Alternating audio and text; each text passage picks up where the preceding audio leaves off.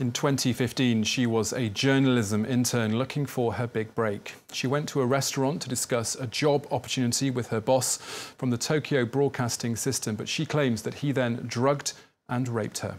Our perspective guest today is the women's rights campaigner Shiori Ito, who joins us now live from London. Thank you very much for being with us here on uh, France 24. First of all, this must clearly have been a very a brave decision to make three years ago to come out and accuse such a high profile uh, biographer, a high profile journalist, but you were adamant that this story had to be told.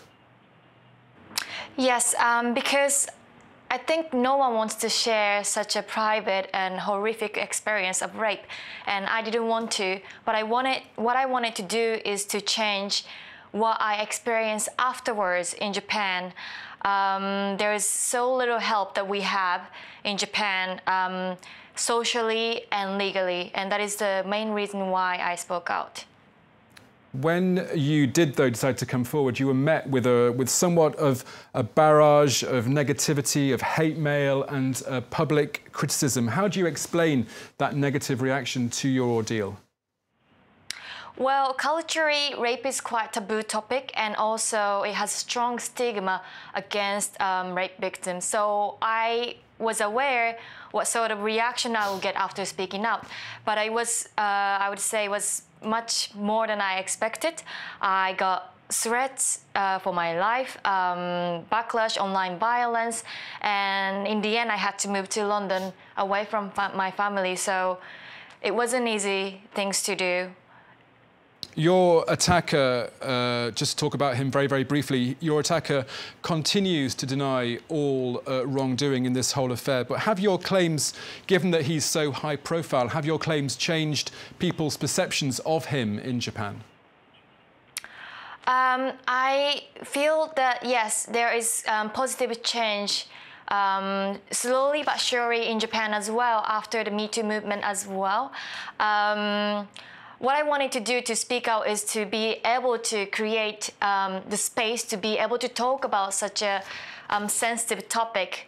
And it's been quite a taboo topic to talk about, even in Japanese media. And uh, media is one of the male-dominated industry we have in Japan. But, but I think but, but it's slowly changing. But has your attacker faced any kind of backlash in the way that Harvey Weinstein did in Hollywood? How do, can, could you say, repeat again? Yeah, has your attacker faced any kind of backlash in Japan in the way that Harvey Weinstein did or has done in Hollywood?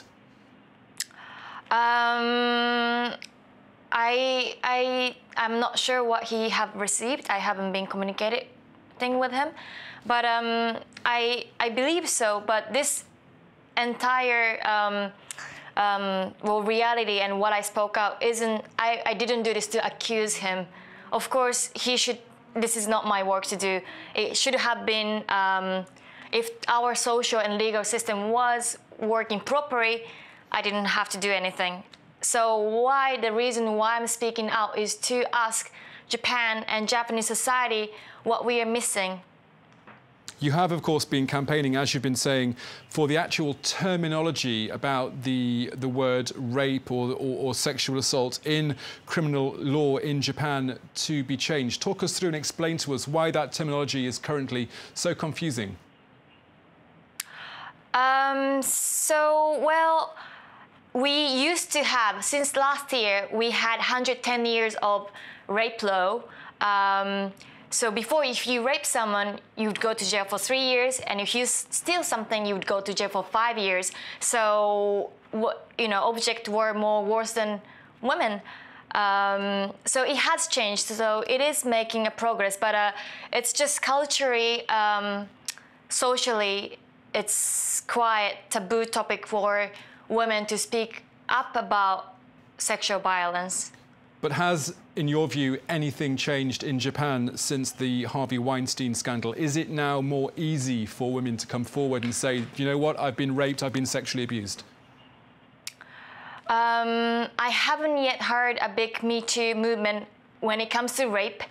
But uh, there was one um, very brave uh, female reporter who talked about her sexual harassment anonymously. And the reason why we had to cover our identity is because we've been often targeted and I have to say Me Too movement, to say Me Too is quite dangerous in Japan.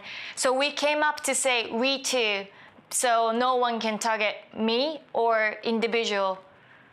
Okay, uh, Shiori Ito uh, there in uh, London, thank you very much.